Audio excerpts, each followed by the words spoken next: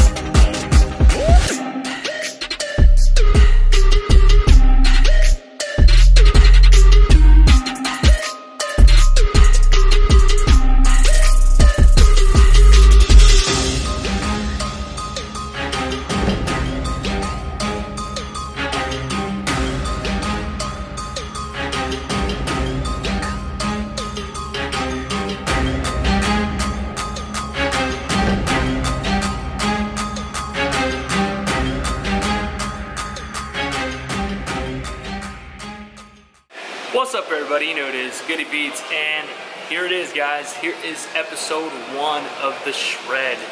Road to um, Road to my first competition. I'm not sure what the title is. I'm sure the title will be in the title of this video, but I just kind of just thinking of thinking out loud. It'll be somewhere like that. Anyway, so I'm here at my gym, THRC, and they have an in-body test to gauge where your body fat is. Now I know there are other things there's like a bod pod. Now I couldn't get that set up in time to go get that. I, I just I just need to get a number. I just need to see where I'm at. Now, last time when I did the shred, um, I did a uh, I did a DEXA scan. Now a DEXA scan is the most accurate thing you can do. It gets a whole scan of your body and they'll tell you exactly where uh, how much body fat you have in your arms, your legs, your butt, your stomach, everything. I just couldn't do it this time. One, it's all the way in Austin. Not that Austin's far, but it's pretty expensive, and I, my gym is doing it for free because, you know, hey, I do commercials for them, I work with them, I shout them out all the time. They're like, yeah, go, come in and, and, and do a do a, a free InBody test. So you can't beat free, guys. So uh, here we are. We're gonna do this test, and then I'm gonna jump on a Stairmaster for an hour, guys. And the whole purpose of jumping on this uh, Stairmaster for an hour is because I'm gonna try to get my body in ketosis. If you guys don't know what that is, you're gonna be hearing a lot about the diet that I'm on. I am doing a keto diet. Now, before y'all freak out, I know a lot of trainers out there hate the keto diet and they're gonna, I'm gonna get so much crap for it. Look, it's what works for me it's what I when I do the keto, my body just responds to it like that. I drop the fat, and it's just it's an, it's just awesome. It's just what works for me. I'm not saying it's the right way, and I'm not saying it's the wrong way. It's just the way that I do it. So I'm gonna bring you along the way and uh, bring you through the journey. It is a keto diet, so uh, it'll be fun because you don't see too many of that on uh, YouTube. I'll tell you that right now. But uh, let's get started.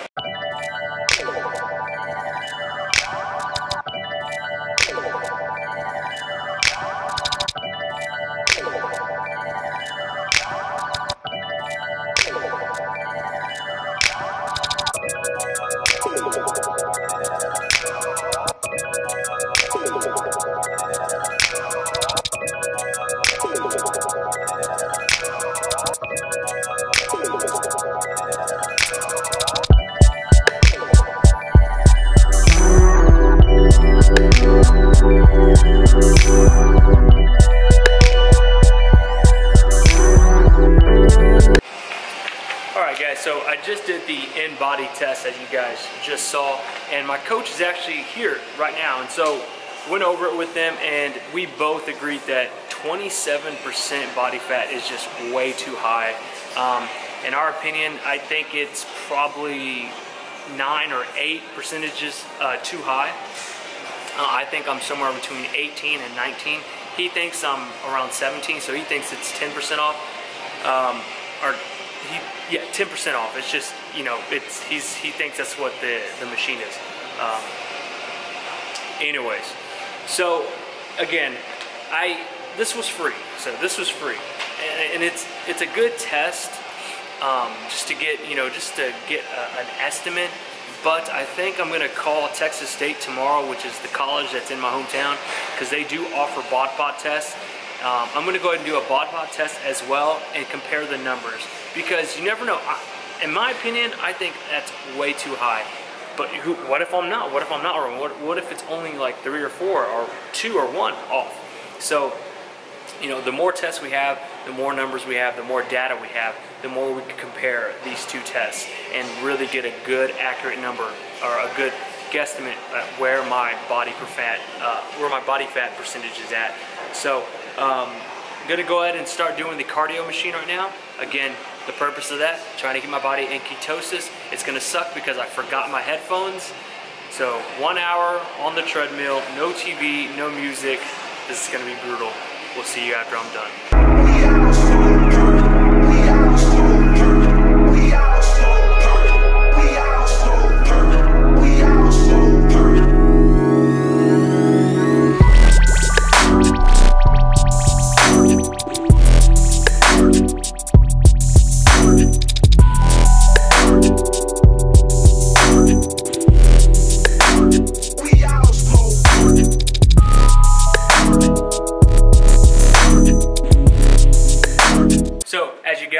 Not know this, I have been bulking for about eight months.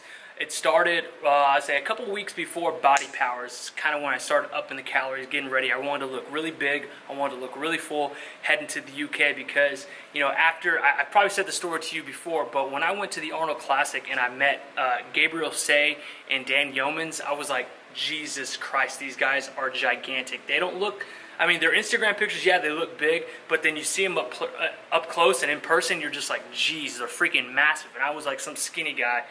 Um, so I was like, okay, I'm going to Body Power. I cannot be looking like a little shrimp. So I definitely started upping the calories and I want to look really big, really full, which I think I came into at Body Power. I think I looked pretty good. But I know that the bulk needed to keep going and going strong. And so, uh, yeah, that's that's where I was. As you guys know, I did a series on my channel. It was called Road to 200, and I got to 200, and it was like it sucked because I had to eat every two hours, like constantly eating, eating, eating, feeling big, feeling bloated. Now, you guys.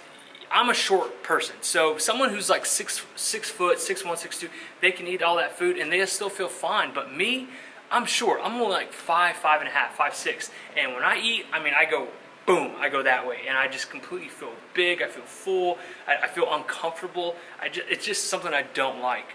Um, so when I hit that 200 mark, I was like, okay, done. I started dropping down the calories. Now I wasn't cutting um, for the for a time there. I kind of wanted to to feel good without a shirt because when I was at 200, I felt like a well. Absolutely felt like a well. Um, so yeah, I kind of I kind of kind of bring started bringing the calories down a little bit, and I got down to 185, 180. Sometimes my my weight would fluctuate depending on what I would eat, how much water you know I, I would I would take in. Um, but you know, it just kind of I felt like that was a good starting point for the shred, about 180, 185. Now I don't know exactly what, um, how many pounds I want to get to for a stage. I'll have to talk to my coach. We've only talked a little bit. I mean, again, we're going to sit down probably tomorrow and really discuss. We talked about where my calories are for right now. My calories are at 100, uh, no, 225 to 250 grams of protein, 150 grams of fat, and no more than 30 grams of carbs a day, guys, a day. So that will be like this for the first 10 days, and then we'll start going into my, uh, my carb cycling, which I'll get more into later. But enough talking, let's see where I'm at.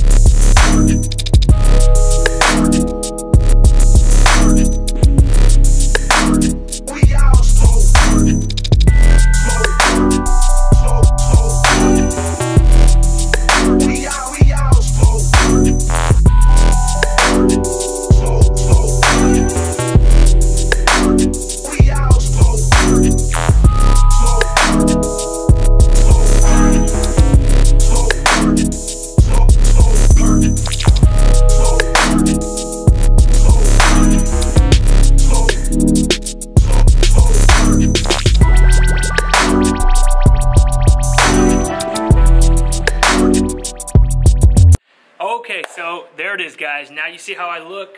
Um, in my personal opinion, um, you know, I think the bulk did pretty good. I, I, think I bulked up, I gained some muscle, but I gained a lot of fat. Now, I don't know why, you know, look, everyone's different. Everyone gains and, and, and gains muscle and gains fat differently. But in my opinion, because I came from being bigger, being heavy set, you know, I've been I've been overweight longer than I've been fit. You got to think about it like that, guys. Now I know a lot of you who've been following me saying, "Oh, you've you know you've been lifting weights for a couple years now. You look great." But again, guys, remember I was overweight for about eight years before I started getting into the you know lifting weights into fitness and really changing my life back around. So I've been bigger longer than I've been fit. So I think when I when I bulk and I eat food, you know, I think for some reason uh, I gained fat a little more than. Um, than you know your average fitness person. Like for a great example, one of my good buddies, Brian Turner. He's bulking right now. He looks phenomenal. He's giant. He's huge, and he still has abs. When I eat and I bulk, the first thing that goes is my abs, and I just like I just blow up midsection. Everyone's different, um, but again, I am pleased with the muscle mass. I'm not pleased with the fat, but hey, that's what happens. That's all part of bulking, and it's all about uh, you know, building yourself, getting better each and every year or each and every every season. So uh, that's where I am. I hope you guys enjoy this series. I cannot wait to bring you as much content as possible. You guys are going to come with me along the way, you know, every step of the way. Um, every week I'll do an update to show you guys how I look and, you know, just follow the transformation. I cannot wait. I'm going to shoot for the best best, best possible shape I've ever been in. Uh, the first shred I ever did was the best one. The second one was decent. Um, now this is the third one, so I, I want to look better than the first shred. And I'll put pictures about right here to show you my first one, and then I'll put pictures right here to show you my second shred.